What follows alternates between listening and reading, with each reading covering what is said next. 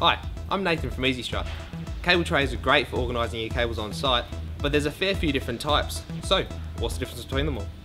The CT tray is a perforated tray and comes in 2.4 metre lengths. It allows cable laying widths of 75mm to 600mm and all sizes are manufactured with 20mm return sides on it.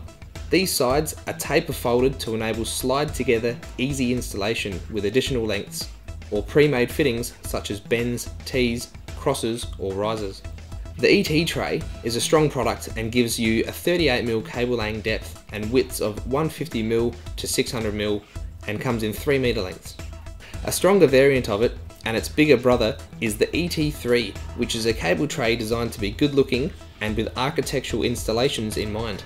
It allows for a deeper cable laying depth but due to its increased strength is still a great choice for some industrial applications. It is made with a clean looking finish and high quality control.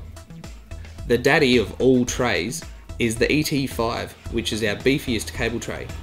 It has rated loads to rival those of some cable ladders. It is a deeper version of the ET3, maintaining an attractive form and a high strength to length ratio. The ET or Easy Tray range are offered with special accessories to allow you to fabricate your fittings any way you want on site. At EzyStrut, we love our tray.